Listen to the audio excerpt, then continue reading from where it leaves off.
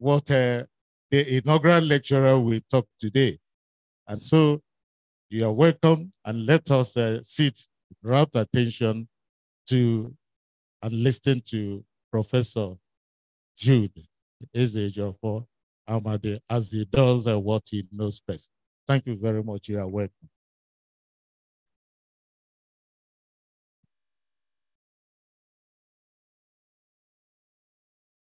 Thank you very much, our dear Vice Chancellor, ably represented by Professor F.J.C. Odibo. Thank you for the remark. Now is the time for citation. And I want to call on Professor Kenneth Ekwalo to come and give the citation of the inaugural lecturer of today.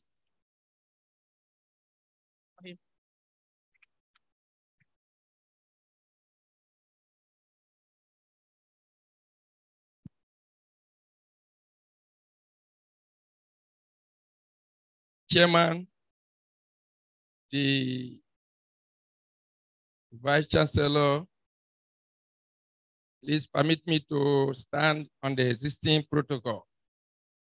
I welcome you today. I want to invite Professor Jude Ezejiofor Amadi to come out for his citation. Please put your hands together for him.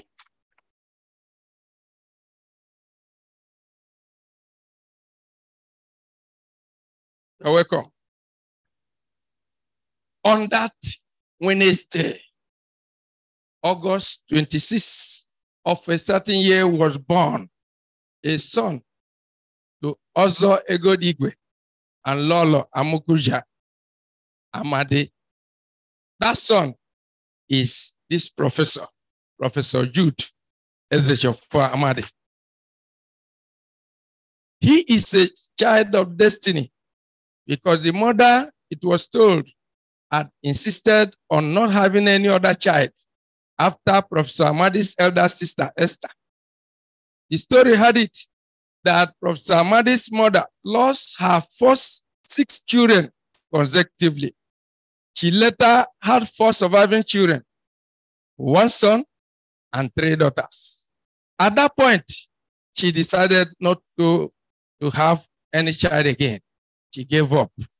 But it took the pleading and encouragement of late Chief M.I. Amadi, Professor Amadi's uncle, who pleaded with her to give a chance. Get another one. Nobody knows the day of his divine visitation. She took the advice um, and she, she accepted it and got conceived.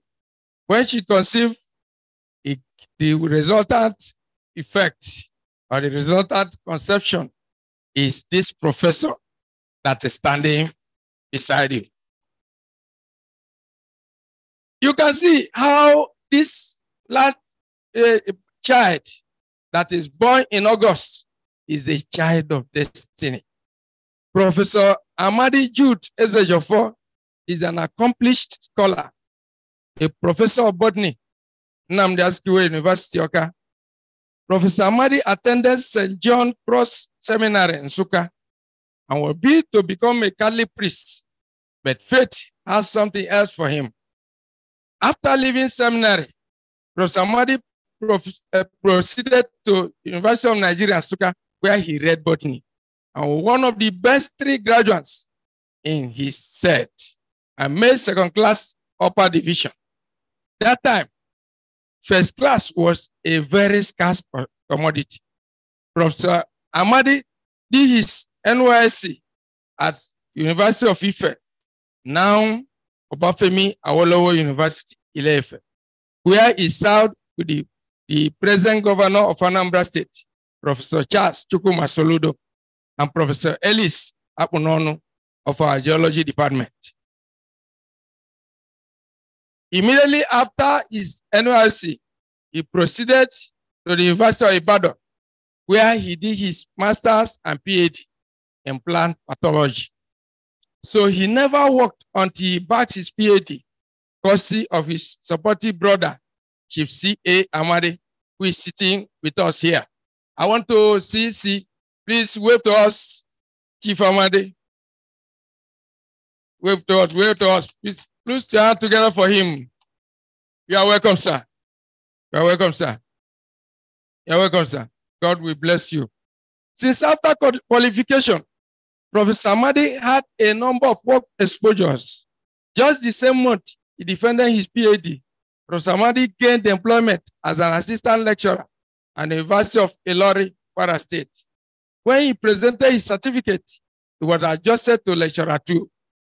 Professor Amadi had been botany use- a unit coordinator several times under the Department of Biological Sciences and later became the first head of department when botany became a full department in University of Ilorin.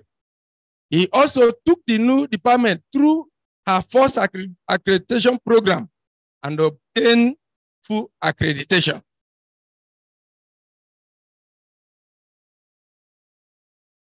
While at University of Ilorin, Professor Amadi benefited from three postdoctoral fellowships that exposed him to excellent research opportunities. In 1995, Professor Amadi was sponsored by the NUC and the World Bank to Brock University, St. Catharines, Ontario, Canada. At Brock, Professor Amadi worked under Professor M.S. Manocha and on host interaction of a fungus, Pipus, Piptocephalis virginiana. In 1999, Professor Amadi saw himself at the U.S. Department of Agriculture, USDA, in Maryland, USA, at the invitation of uh, Dr. Doug Luster, yet for another postdoctoral fellowship. At USDA, Amadi worked in a team with the fungus Fusarium oxysporum, FSP, Erythrospoli, er- Erythroxyli, and a pathogen, Erythroxylum coca, which is the cocaine that we, we, we know about.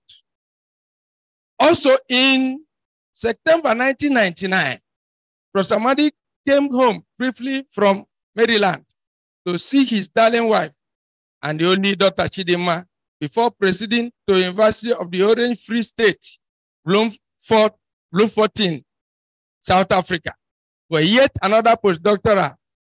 So Professor Amadi can be seen or can be said to be an international plant pathologist.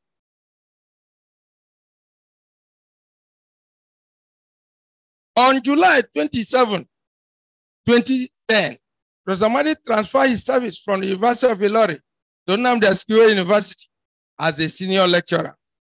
In January 2013, he became the head of department of Department of Botany, and by November 2013, he saw himself resuming work at Shell Petroleum Development Company (SPDC) Port Harcourt as a sabbatical staff. At Shell, Professor Amadi worked as environmental impact on environmental impact assessment in the environmental department. Professor Amadi has been a member of NUC accreditation team to a number of universities, including the Federal University, Lafia, Nasarawa State, March 2021. Usman the Federal University, Sokoto, December 2021. Professor Amadi has served in several university com- committees, both at the University of Ilorin and Nnamdi Azikiwe University. Here at UNIZIK, he was the chairman, Faculty of Biosciences Annual Lecture Committee in 2018-2019 section. Professor Amadi has served as external examiner and assessor to many universities, including University of Ibadan, Federal University of Technology, Minna, Enugu State University of Science and Technology, ESUT, Kogi State University, Aimba, Chukwuemeka Odumegwu University, Uli, Delta State University, Abraka, and Usman Dan Federal University, Sokoto. Professor Amadi has been an adjunct professor at different times at Paul University, Awka, Enugu State University of Technology, ESUT, and Godfrey Okoye University, Uguomu, Nike Enugu. He has also served both in the university and community in various capacities. For instance, Professor Amadi was the coordinator of the committee that brokered the land lease agreement for the establishment of the Maris University in Abakume, Udi, local government of Enugu State, yet to take off. Professor Amadi has many scholarly publications in both local and international journals and uh, served as book editor. Professor Amadi has supervised many PhD and master candidates, of which two of them are professors today. You can see the list of Professor Amadi's contribution can be endless. But for want of time, let us leave that for another day. Professor Jude Ezejiofor Amadi is happy and fulfilled in his marriage to Dr. Eugenia Ada Amadi, and God has also blessed them with three children. Noble ladies and gentlemen, permit me to end this citation by quoting what the Bible says in Proverbs 22 29. Seest thou a man diligent in his business? He shall stand before kings. He shall not stand before me men. This is that diligent man that I brought to you today. It is my pleasure to introduce to you my partner in the School of Sanity, my friend and my in-law, in the person of Professor Jude Ezejiofor Amadi.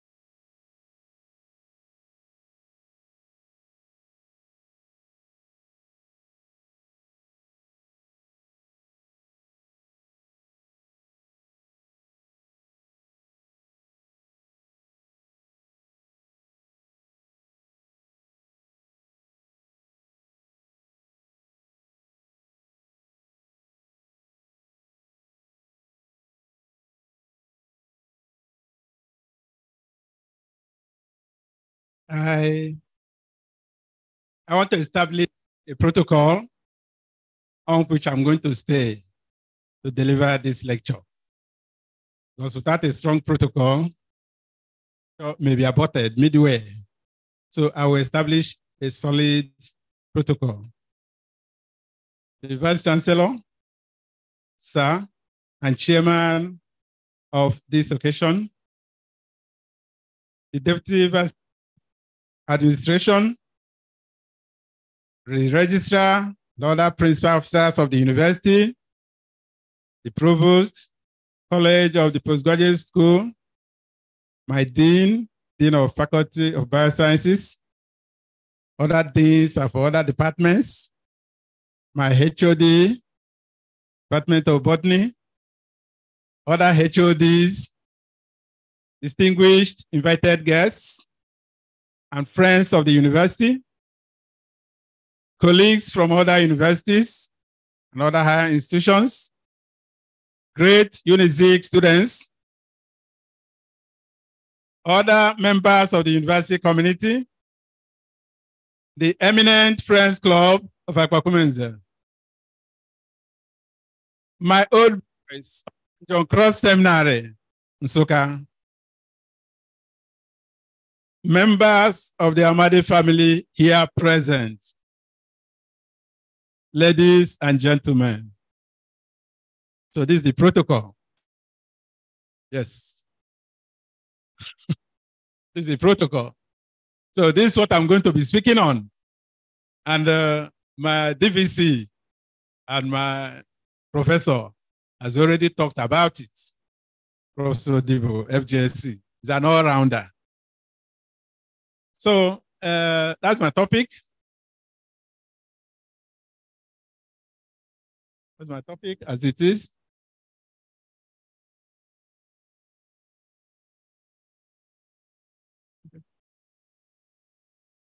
So that's Jude Amadi.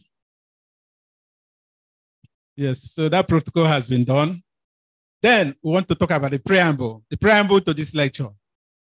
I want to say that I'm very happy, have a privilege and honor to stand here this day to deliver this ninth lecture of this university. And I want to say that this lecture is coming nearly eight years after I've been appointed professor. Yes, yes. Also, I may need to inform you that I for this lecture on the 22nd on the, on the I applied for this lecture on the February 22nd, 27. You can imagine what I'm saying. 2017, I applied to deliver this lecture. So I was first appeared to deliver this lecture on December 2nd, 2021. So you have seen how things turn and turn and turn, and we are on this date, August 17. And you agree with me that many have gone. Between that date and now, many have gone. So I can't thank God enough for giving me this opportunity to still deliver my lecture.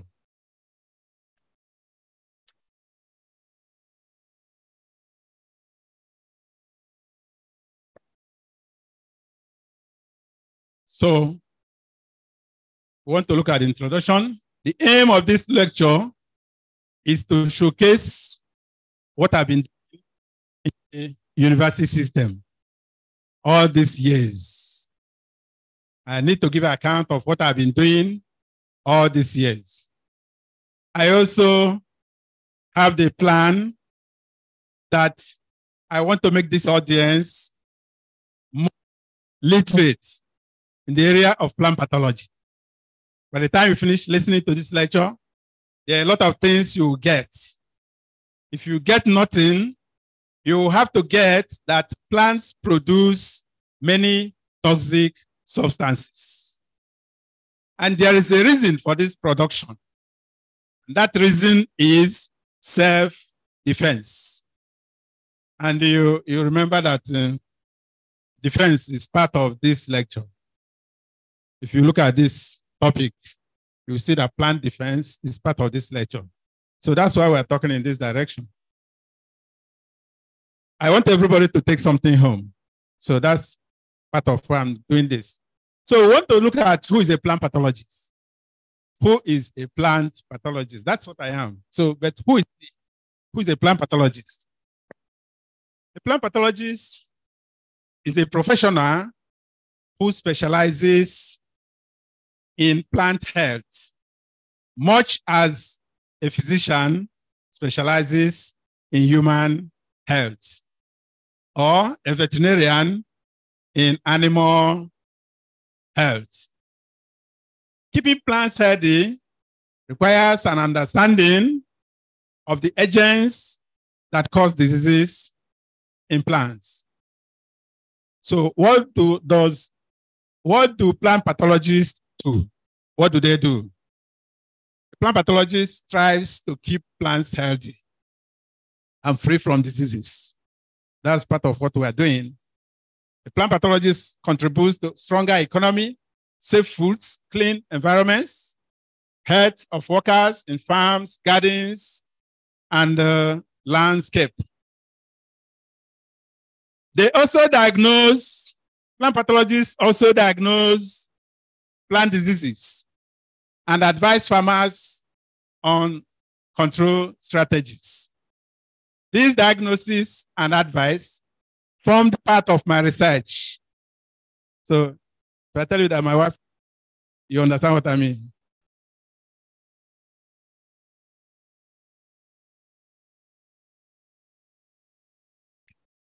Thank you so much. So, where are we? We're here. Okay. So this, this advice and uh, whatever, whatever is part of what I did in South Africa. And I want to say that it was in that place that I had the opportunity of having many disease plant materials to look at. And I proffered solutions to them and gave them control strategies. And it did work. Finally, you want to look at plant pathologists as people that teach in universities and colleges. And that's what I'm doing in Unizico, teaching. So all my other students, what we do is to teach too to the younger generations of plant pathologists.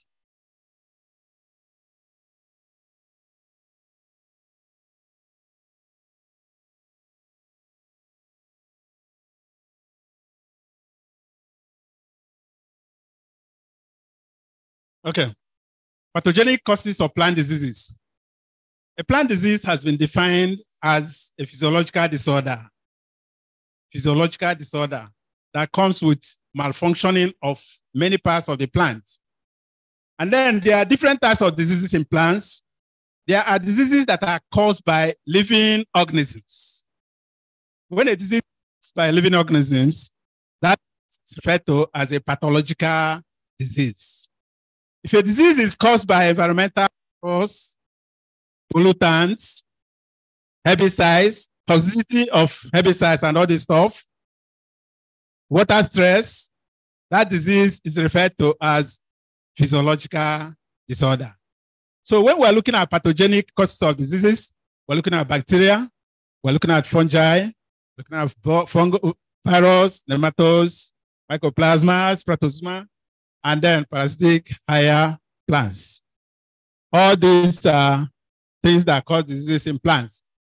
Then we want to look at the mechanisms, the mechanisms of plant infection.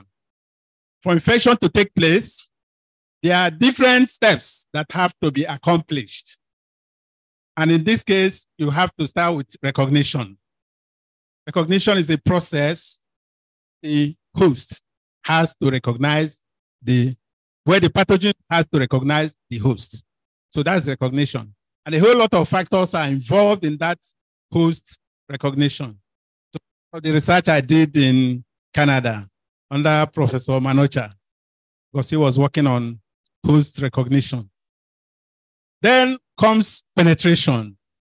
Penetration is defined as the initial entry of a pathogen into the host. That's penetration. So there are different ways pathogens can penetrate. And then you now have infection. And people who may wonder, what is this infection? When I ask my students, what is infection as I teach? Maybe infection is unwellness. I say, what is unwellness?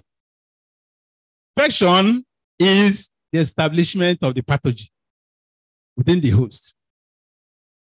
If an organism enters any plant and is not able to establish, it cannot cause infection. That is the process. That's the process. It cannot cause infection. Then follows development of the pathogen within the host. This development involves formation of structures, infection pegs, haustoria, which this pathogen will send into the body of the host and uh, absorb nutrients. So these are the processes involved in in this. Then we're looking at the disease triangle. Disease triangle is a triangle that is meant to tell you what and what and what must be in place for infection to occur. So in this triangle, this fig one, you see the host there, you see the see the host here, you see the pathogen, see the environment. So there has to be host, there has to be the pathogen, and the environment must be favoring to that particular pathogen. So these are these. Under this circumstance, there will be disease here. So this simple expression of this concept. So this host has to be susceptible. When you say susceptible, you are talking about the opposite of resistance. So the host has to be susceptible. The pathogen has to be pathogenic and very virulent and produce a lot of infective propagules. And then the environment has to be favoring. When you're talking about environment, you are looking at temperature, pressure, pH, and all this stuff. And then this other fig two is the dynamic expression of this disease triangle. this triangle shows that there has to be contributions. There has to be contributions from this host pathogen and environment. So if you see here now, you see this circle is for the environment. So it will contribute a portion here. Then the host will also contribute a portion here. Then the pathogen contributes a portion here. So it is at that point the pathogen, the host, and environment contributions meet. That's where you have the disease. So when the pathogen and the environment meet alone, there will be no disease. And the other way around too. So there has to be that contribution from host, pathogen, and environment for the disease to occur. Then my research reports. So I want to say that my research is focused on Cercospora, leaf spot, and target leaf spot of cowpea. And cowpea is simply beans. The beans we eat is what we call cowpea in English. And in our in botanical name is Vigna unguiculata. So Cercospora leaf spot is caused by that uh. The target spot is caused by the Corynespora cassiicola. A leaf spot is a limited, a limited, discolored, and uh, whatever, whatever portion on the this thing. So we're going to have it there. So uh, extensive accession studies in plate two, you're going to see it. You also, I also show you the other plates. This is a leaf spot. This leaf spot of hibiscus caused by Pseudomonas. And then this other one is leaf spot of cowpea beans caused by Corynespora cassiicola. So these are the symptoms we have gotten here. Then some aspects of uh, and biology of uh, cowpea. We want to say that cowpea is nearly a perfect match for the African soil and the African people. So that perfect match is based on the nutrient contents of this cowpea. There are some things that you can't get in cowpea, you get it in other cereals. So when you combine cereals and cowpea, it's like you're getting a perfect meal for a typical African. So, for example, lysine, all this stuff. So the tender leaves are also used as food. In many other parts of Africa, you can see people preferring the fodder to the beans. In Nigeria, we prefer the beans. In Mali and other places, they prefer the fodder for animal feed. So this is the accession study at IITA Ibadan, in Oyo State. That's where I did my work. That's the field. That's cowpea here. So looking at the major diseases of cowpea, major diseases of cowpea are anthracnose, ascochyta. Okay, no. Yes, major diseases of cowpea are these anthracnose, ascochyta, brown blotch, Cercospora leaf spot is what we're talking about today. The macrophomina, phytophthora, stem rot, and septoria leaf spots. So all these things are the major diseases of cowpea. Then we'll look at the less important diseases of cowpea, and that's uh, cowpea rust caused by Uromyces phaseoli, false moth caused by Protomycopsis phaseoli, target spot caused by Corynespora cassiicola, web blight caused by Corticium solani, and then vascular weight caused by Fusarium oxysporum. So all these things are here. We have the plates. We have the plates. So this is cowpea leaf. You see here, you'll be seeing spots. These are the things I want to show you. Not just leaf I'm showing you, I'm showing you the spots. So that's the leaf spot I studied. Then at the back of an infected leaf, at the back of an infected leaf, there is heavy sporulation. This is what you see. You get an infected cowpea leaf, you turn the underside, this is what you see. Heavy sporulation. That you pick it out, you now see the organisms responsible. So this plate four is looking at Corynespora cassiicola the cause of target leaf spot. So you can see You can see the conidia. Some of them are in chains. You can see three conidia here in chain here. There's another conidium here that is on top of uh, conidiophore. So these are things I got from my research. And then this target spot too is called target spot because of the characteristic symptoms. You can see this. It has a concentric ringing. So you see that there's a kind of concentric ringing here, even if it's not very clear, but it is intended. Then you see pathogen penetration avenues. So people will be wondering, how do pathogens enter their hosts? So this is it. Pathogen can enter their host through natural openings. It can enter through wounds. They also enter even intact surfaces. And uh, when you talk about these natural openings, you are looking at stomata, lenticels, hydathodes, all those stuff. These are the avenues. This for wound. When any plant has wound, it has predisposed it to infection because pathogens will enter. I'm sure that people here practice plant pathology even without knowing. Because, for example, now, if people buy heaps of yam from the market, they will go home and start looking at those ones that have wound. Is it not true? They start looking at those ones that have wound and pick them out and tell their family, please, let us start eating from here. That's plant pathology. Because if you don't do it, infection will come from there. So that is entering through wounds. Then some organisms are so strong and fortified that they enter intact surfaces. Surfaces that are intact, organisms have specialized in a way to enter them. And they do this by producing toxins, enzymes. These enzymes will soften the surface, and then these pathogens will use some little force and push in. So then we're looking at the entry of pathogens into cowpea leaves. So this is a typical stoma. This is a typical stoma here. This is the guard cell. These two guard cells are the things that control stomata opening and closing. The subsidiary cells are there. So some pathogens enter through this stoma. And we are also told too that some pathogens even enter stoma even when it is closed. Even closed stoma, some pathogens specialize and force themselves in and enter.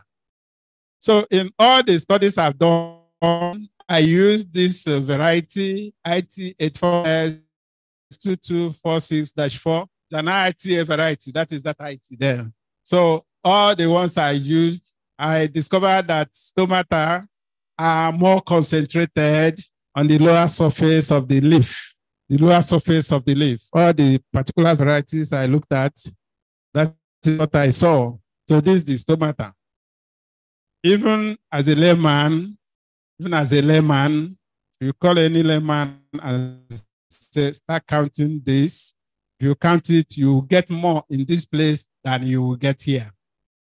This is the upper surface. The upper surface have stomata, but the stomata are more sparse. This is the lower this thing that has stomata, and they are under.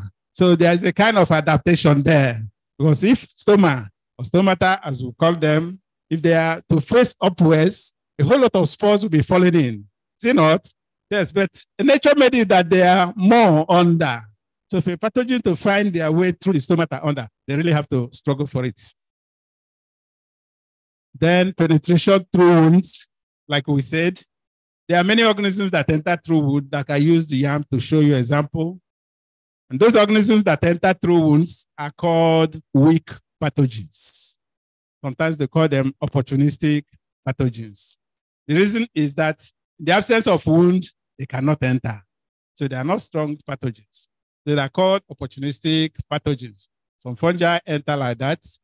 And then well, I told you that some organisms can enter even intact surfaces. So all these things are part of what we saw in our study.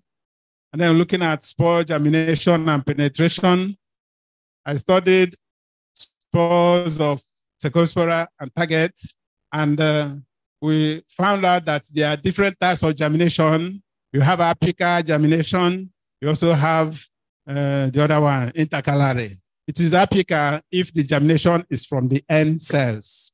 Then it will be intercalary if the germination is from the cells in between. So that's what we have here. So frequently we will see all this in place.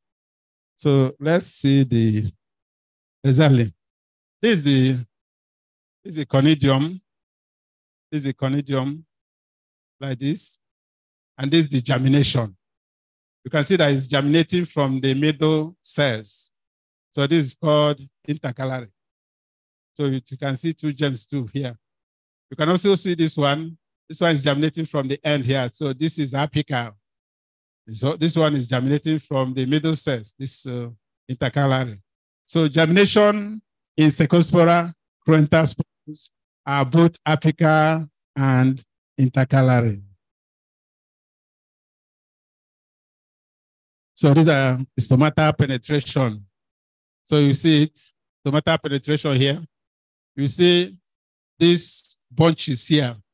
These bunches here are conidia of Cercospora, plugging stomata, trying to force themselves inside.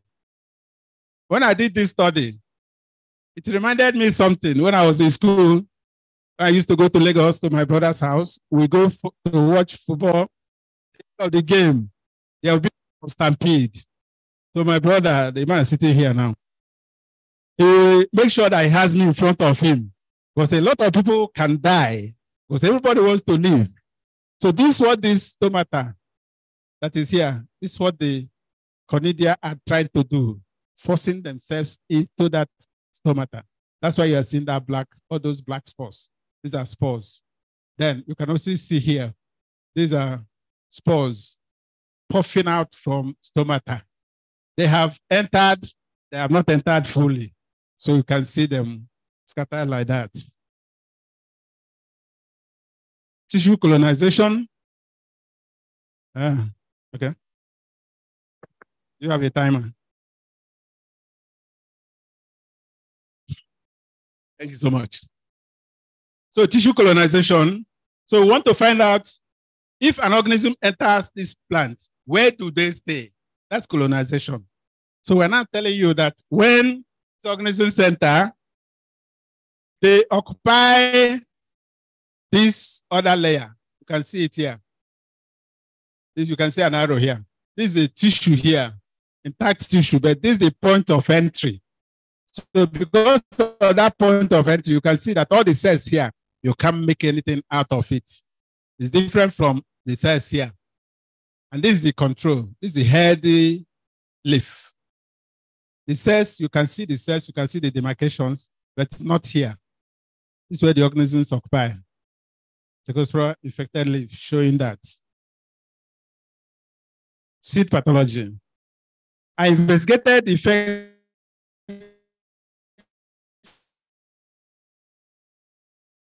of seed. Cowpea, I mean, it's a major thing we need in cowpea seeds. So if your seeds are infested, we want to see what we stand to lose. And so I did analysis of cowpea seeds that were infested with Cercospora cruenta.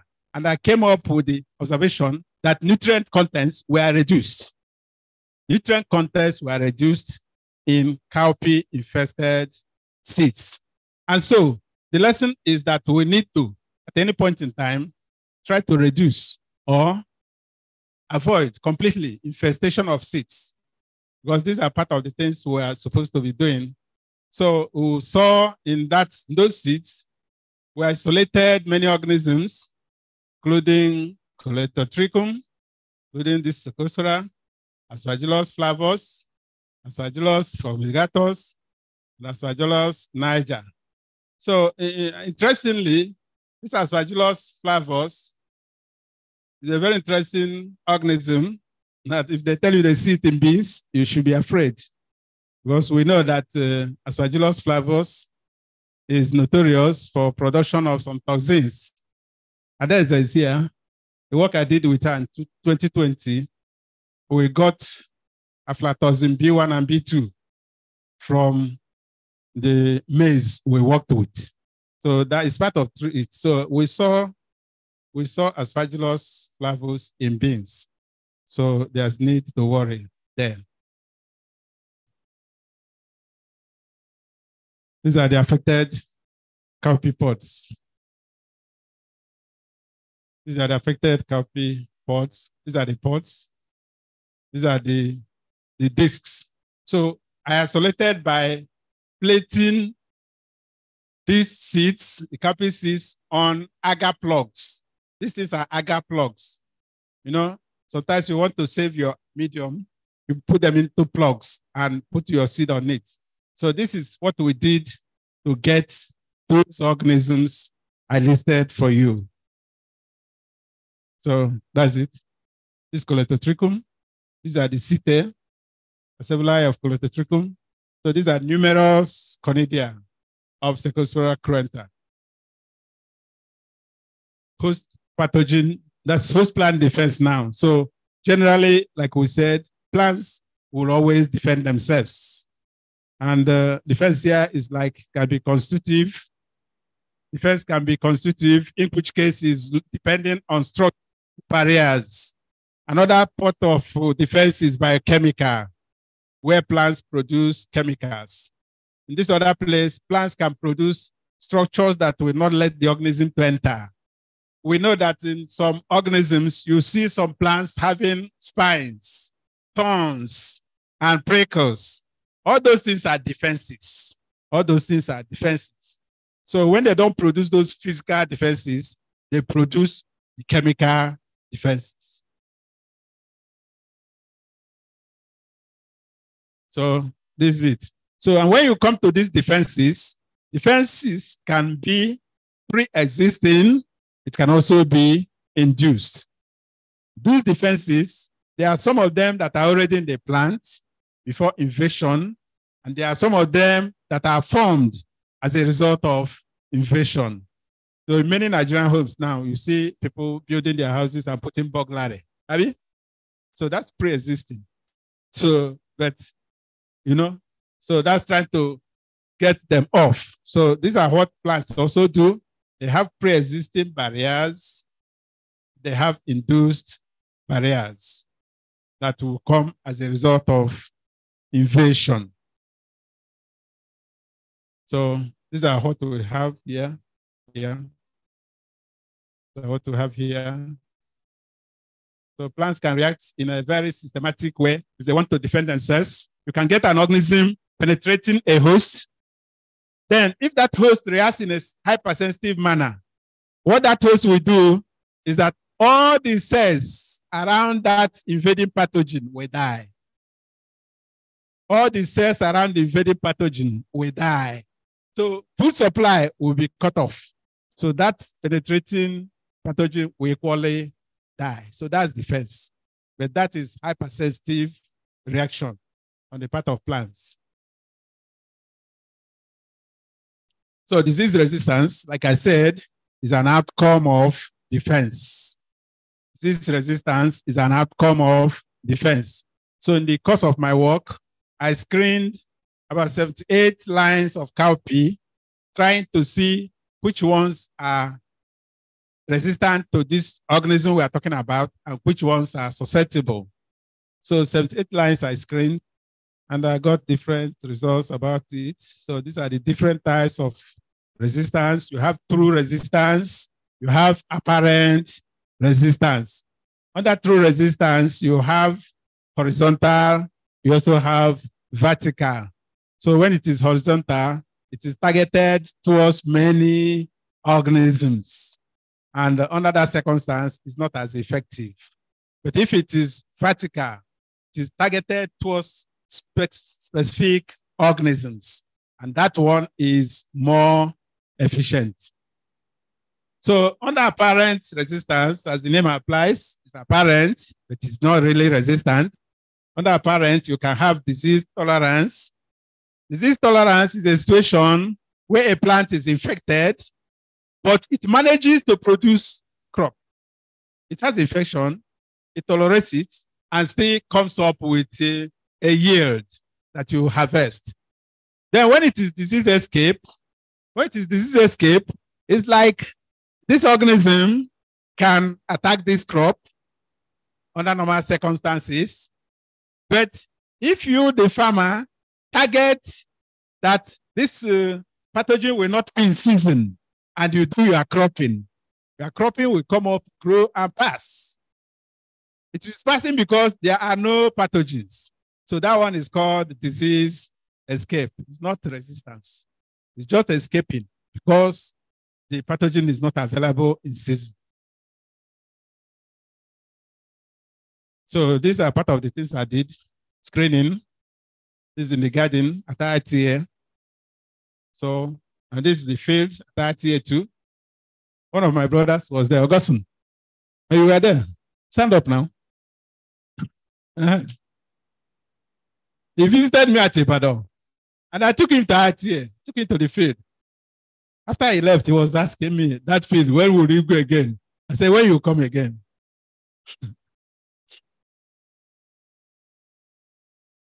so all these things are resistance.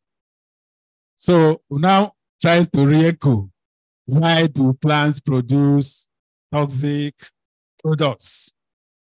We're now saying that plants produce toxic products because they have to defend themselves. In my local balance, in my local balance, a sị na osisi nọchiri ụzọ na-ana-ata mma. Makwu na-abata ihe na-ekwu. Osisi nọchiri ụzọ, a na-egbukere mma. So, osisi ahụ mma, it cannot move. So, ị gafetekwa echi, igbukwa ya mma. Ụlọ mmadụ, ọ bụrụ na ọ mara ihe o melụ, ọhụ ka ị na-abịa, ọ ọkwa. Osisi does not have that ability. So they have to produce toxic products to defend themselves. A human being can run away if he sees his enemy. a plant cannot run. So it has to devise a way of protecting itself. And that is why we're talking about this defense. So why do plants produce toxic products? So is is exactly what we have said. So I want to talk about my contributions to research. I hope I'm keeping time. Yeah. Small. My contributions to research.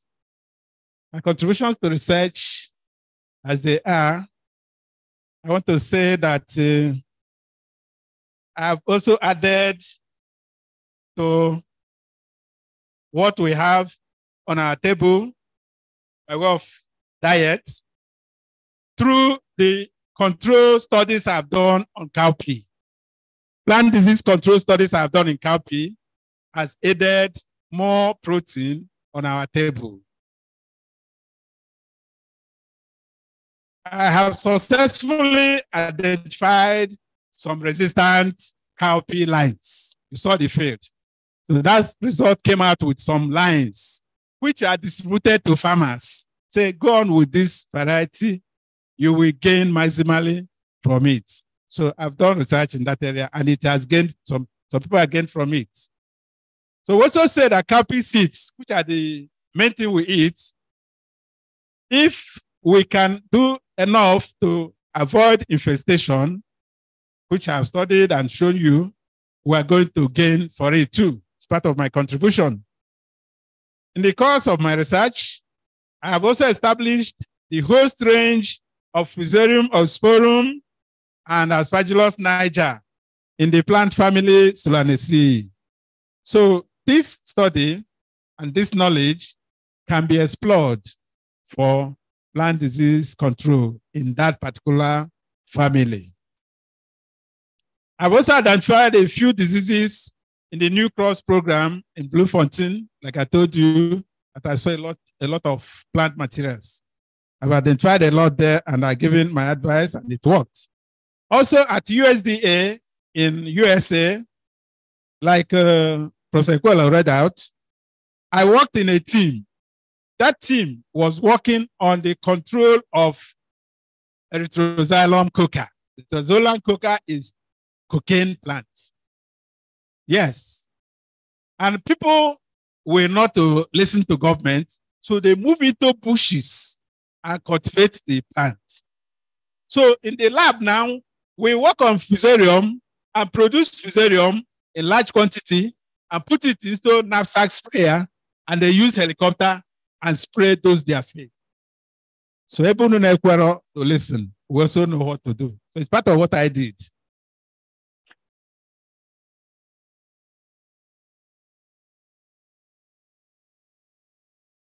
Through research, I was able to establish that stomata distribution in cowpea is more abundant beneath. And lastly, I don't want to take it for granted. For granted, I've also produced a lot of personnel in this my field. Yes. I've produced a lot of personnel in this my field. I have two professors that were my students. So it doesn't have to be taken for granted. So acknowledgement. I want to acknowledge God. I want to acknowledge God for giving me this opportunity. God for giving me this opportunity. Because many have wished to present, but they did not. So it's not that I'm too smart, I'm intelligent. It's just grace of God. Between 2nd of December 2021 and now, a whole lot of things could have happened to me. But God said, no, you must present. And I'm presenting. So I thank God. Thank God. To the Amadi family, I want to thank my family because if I say it, I can say that I gained most in my family, more than any individual. If somebody goes to school, does first degree to PhD without working, you'll be wondering, is my brother here? Is he Amadi? Stand up again, please.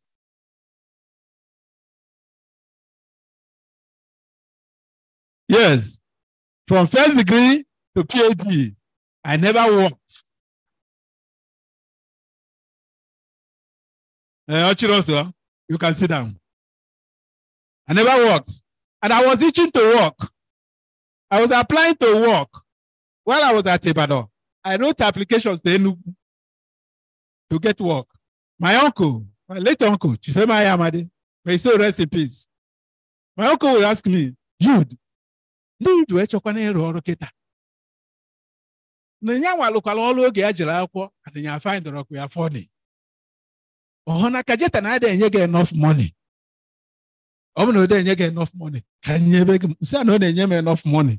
Kama na nchọ ka m nwetagodo ọrụ so that ngụcha PhD ka m ebe m na-anachi. na ma ihe ma nke gwa m ma nke si m gụwa PhD a ịgụcha ya you will make history I will buy a barrel for you you first PhD holder na-akwa barrel that's what the man told me so ndị application has here so I thank the Amadi family thank you so much to the Nnamdi Azikiwe University I want to thank this university for giving me this opportunity to come home. Because like I told you, I came from Ilorin. I spent most of my academic life at Ilorin. What I'm doing here is just completion. It's completion I'm doing here. So I want to thank the university for giving me that opportunity. Uh, Professor Onyago, we were at Ilorin together now. so I want to say that there are many more people that want to come home but they have not gotten the opportunity. So I thank the university for giving me that opportunity. And I specifically want to mention that it was Professor Eboka that was on seat then. So if you see him, please thank him for me. I'm also grateful to the staff and students of botany department where I belong for their friendship and support I can say with ease that botany is doing well. Is it not? I can say with ease. It's a good place to be. So voting is doing well. My committee, this inaugural lecture committee, is formed by all the staff in botany, teaching and non-teaching. That's how we do teaching, non-teaching. Everybody is there. Asking me, Prof, what will I do? I say, go to Bibian. Bibian is the chairman or chairwoman, I don't know, of the welfare committee. So thank you so much, botany department. I'm also grateful to my former students for their respect, their love, everything. Thank God. Most prominent among them are these two professors I've told you. One of them was on the way to come for this inaugural lecture, but fate said no. So their vehicle spoiled. So I told him, please go back. I'll be more at ease that you are safe. Coming from an inaugural lecture, and I'll start telling stories. So thank God for my former students, Professor Debola. Also thank God for Professor, the other guy, yes. So Gani Yolaho is one of my students too. All these lecturers and Garoba. They are the ones that I left the department at Ilorin. They are holding fort there. Here at uh, Awka, I'm managing this place with uh, Adeze. Where's Adeze? Dr. Adeze. Okay. Then Dr. Madukolo, Boniface. So, physical planning. You know him now. It's my product. Then Oledibe. Oledibe. Odira. Uh, we are the ones here. So we are managing plant pathology here. I also want to acknowledge, even though I'm presenting, Professor Kibo, the same pathology, Professor.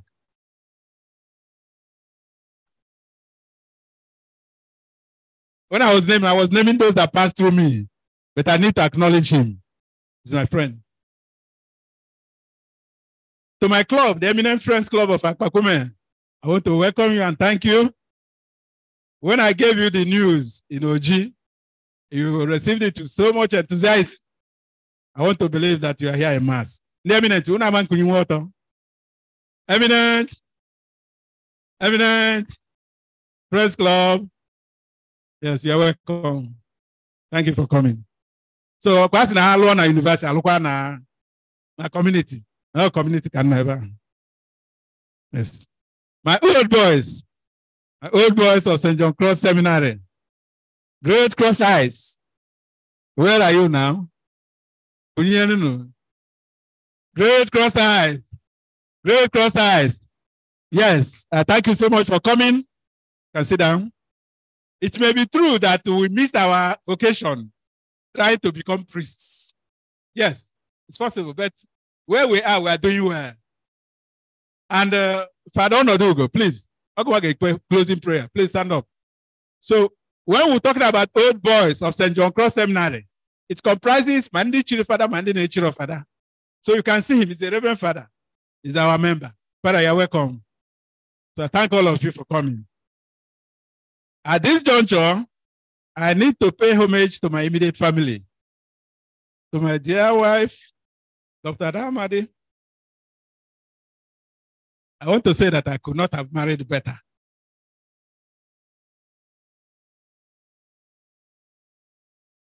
I couldn't have married better.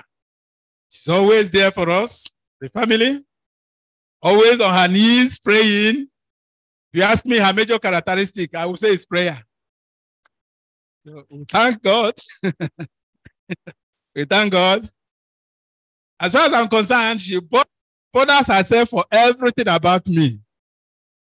As far as I'm concerned, bothers herself everything about me. We want to tell you what you eat, what you will not eat. That thing you eat, when you will eat it. We tell you you are sitting down too long. Please walk around. Say what? Your urine is too colored. Drink more water. Have you checked your sugar? All these things. So, hey dear, thank you so much. Yes. Sometimes I will be complaining, you know. In a mature man, I will be complaining. Everyone has someone. I cannot thank God enough for giving me very homely children. Chinaza. Where's Chinaza? Stand up now. Chemeria. Yes. Thank you so much. You know, lecturers don't have money. So these my children understand that lecturers don't have money. So the much I provide, they do with it. So Chinaza, thank you so much. And then there's uh, my only daughter, Chidema Amadi, is a doctor. Because of duty, she's not here. So when you talk to your sister, tell her that I.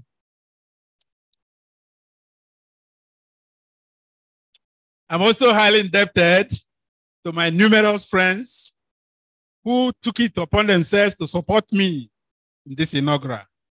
There are so many. Mr. Pius Ude, don't know whether he has reached. He has not reached. Yes. Pius Ude, Professor and Dr. Mrs. Osi Okanya. These are my friends that have come to my assistance, so I have to confess and say it. Inaugural lecture is not easy. oh. That's why I'm doing fufu nyere. My in-laws, the Ozo Okonkwo family, came to my aid. I thank God for them. Dr. Amadi Amadi of Shell Petroleum. Una go na nje sabatika na Shell. Oh, Amadi Amadi. Yes. Uh, Martins Anyebu, Professor and Dr. Pascal Okoli, Professor Ike Iyoke, Dr. Boniface Madukolo of Fiscal Planning, Eminent Titus Modo with the bunch, Dr. Gani Olaho, Engineer Richard Ochi, Engineer Victor Ochi, Chris Nji, Eminent, Modestus Aji, Victor, okay, Professor S.K. Olorumaye, my colleagues at Ilorin, they sent money. Dr. Pauline Umaneto, don't be shy that I'm calling you, but she assisted me. Dr. Ngozi okay, from Esut. Ngozi, thank you so much. Fred Ugodu, all those people. Professor Stan and uh, Udedi, our dean. Now. The dean, yes. So ndị a niile gbakwutere m sị mụ na anyị ma na the load adịrị easy will help you to carry it. And so they remove tension from me. oh. You can see I'm very relaxed. Yes, very, very relaxed. They remove tension from me. M. Finally, finally, as a teacher, I would have loved to ask you, ma question jụba would have loved to say that. But the inaugural lecture, nearly immunity, na that your question. So I'll just say thank you for coming.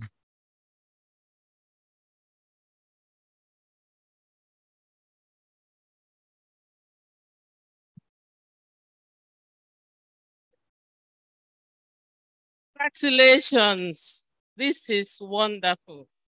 The 89th inaugural lecture of this university has been delivered by Professor Jude Ezejiofor Amadi, done and dusted. Congratulations. Please, can you have your seat for a while? We really, please, can we sit? We really want to appreciate him for the job well done. Less 10 minutes. Less 10 minutes. So he managed his time very well. This is great. We had such last week, less 15 minutes. And that is what we want to be having. So congratulations. I want to some of our colleagues here, eminent professors, the Dean of Biosciences, Professor Ibilo.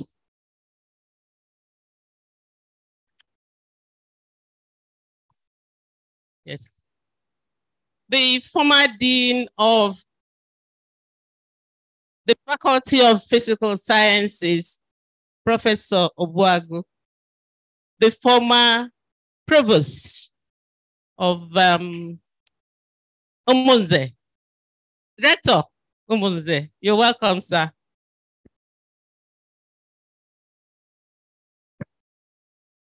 Professor Ibeze, you're welcome, sir.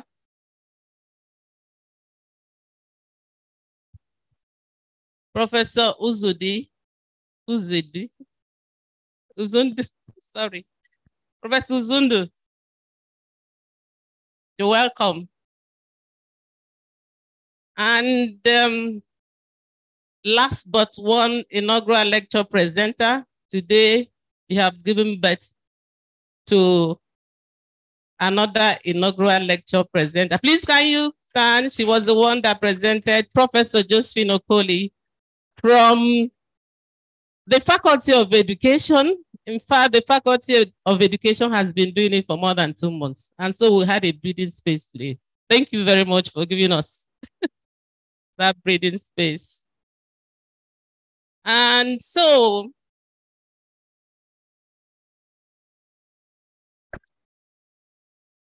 welcome Adair Vice Chancellor, ably represented by Adair Academic Advisor to the Vice Chancellor, Professor J.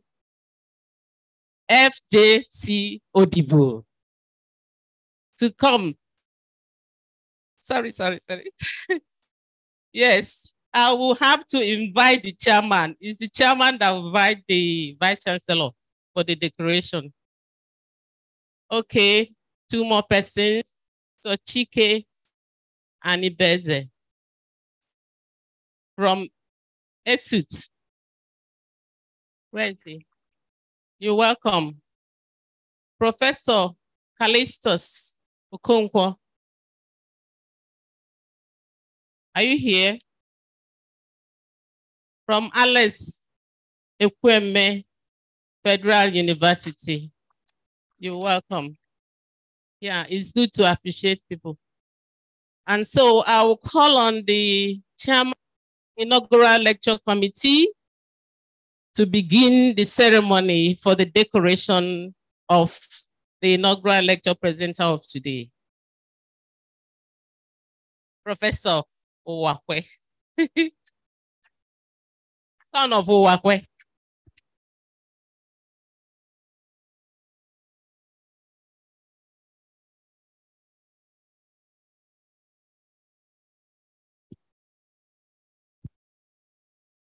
Mr. Vice Chancellor, sir, may I have your permission to invite you to the podium to do the needful in respect of the UNIZIK Ignite inaugural lectures.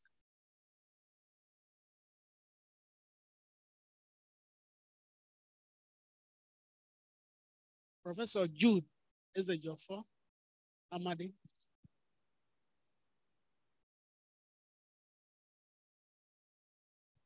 Mr. Vice Chancellor, sir. This is Professor Jude Ezejiofor Amadi. On behalf of the University Inaugural Lecture Committee, I confirm that Jude Amadi has successfully delivered Nnamdi Azikiwe University 89th inaugural lecture. He is now qualified to be admitted into the register of inaugural lecturers. Visitor, kindly decorate him in the presence of these people and our virtual audience. Visitor.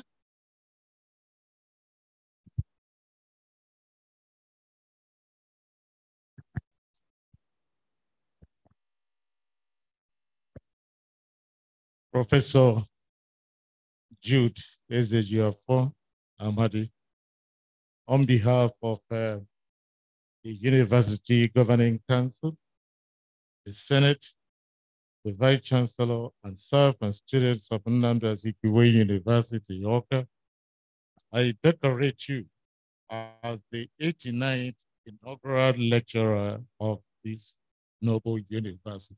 In the name of the Father, and of the Son, and of the Holy Ghost.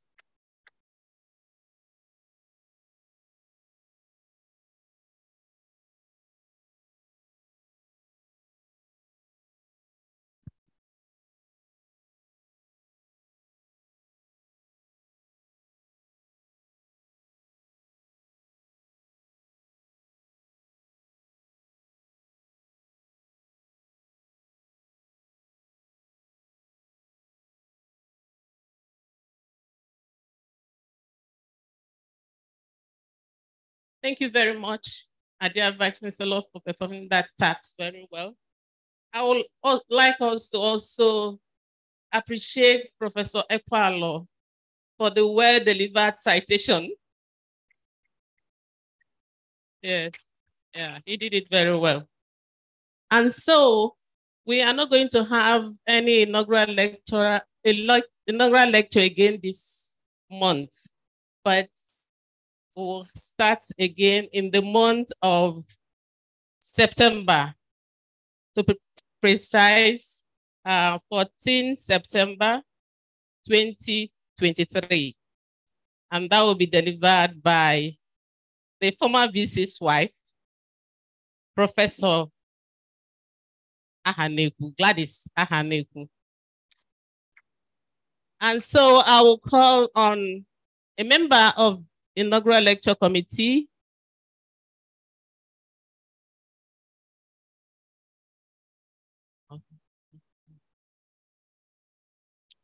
a member of this inaugural lecture committee, Professor um, to please come and give the vote of thanks.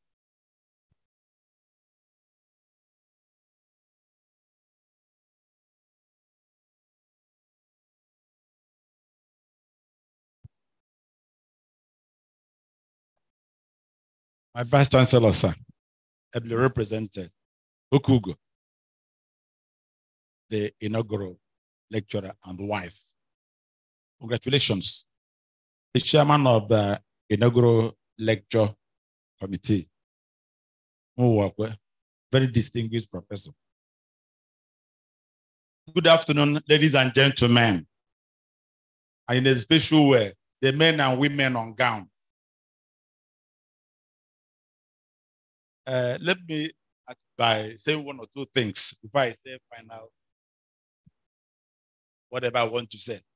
I remember you were in Ilorin, and when, um, you mentioned Professor Onyago, and Onyago once told me one day we were greeting you somewhere that when he was living in Ilorin, we were asking him, Why do you want to leave Ilorin? Where are you going to? I am glad to see that you're very happy that you came to Unizik.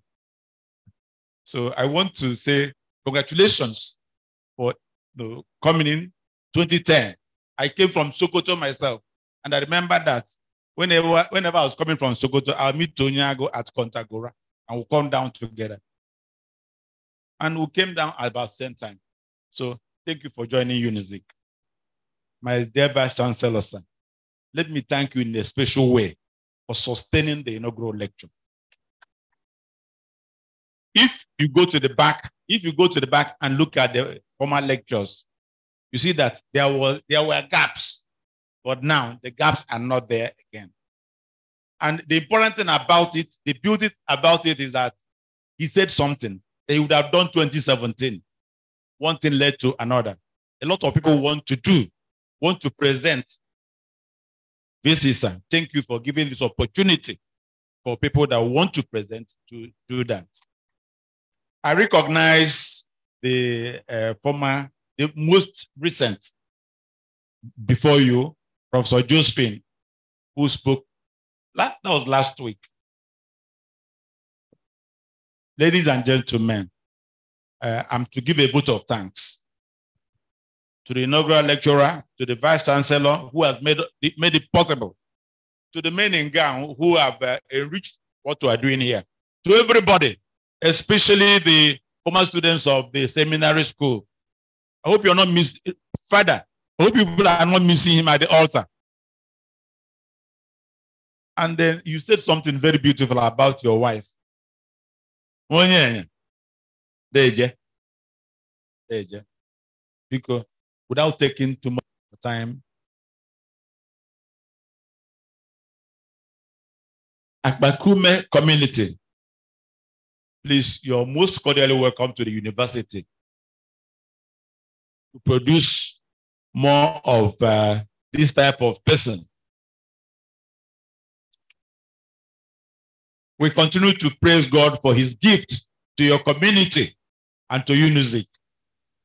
I thank you all for coming. Thank you. Thank you very much for thanking us. Professor Ubuagu. We are moving.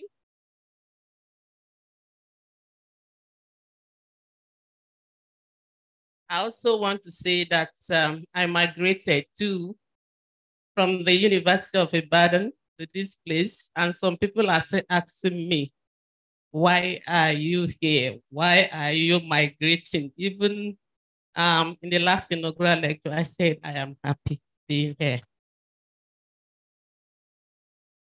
And so I will call on our Reverend Father to give us the closing prayer. Father. Father Honor. Father Honor Bugo.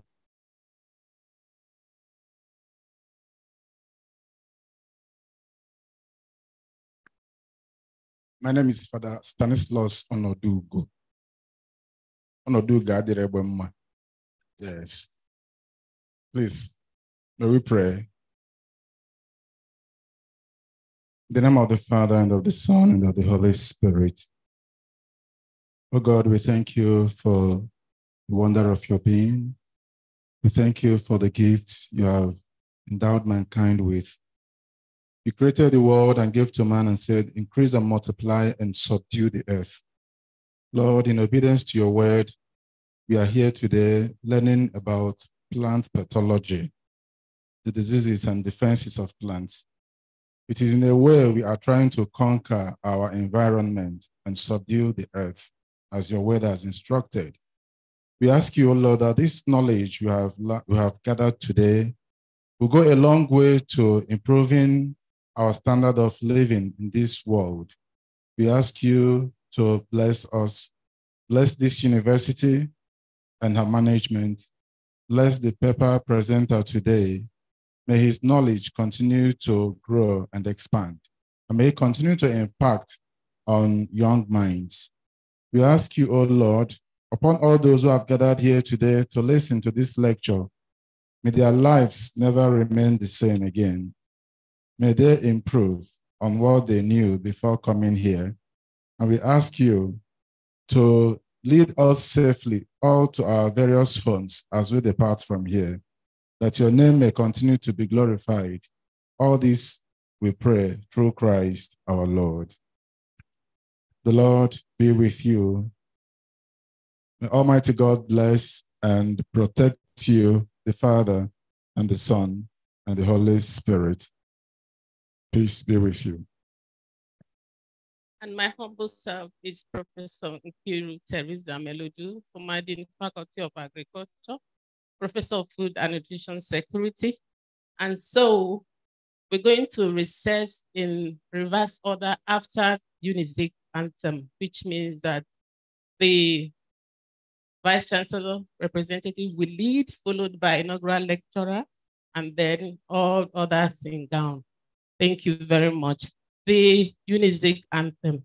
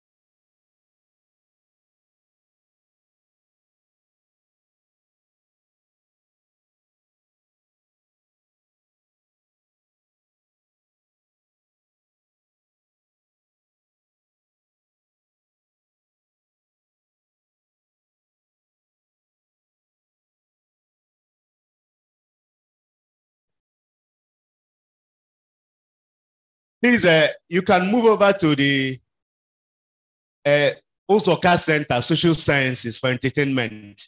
It's just over there. Professor Ozoka Center there for entertainment and light refreshment, please.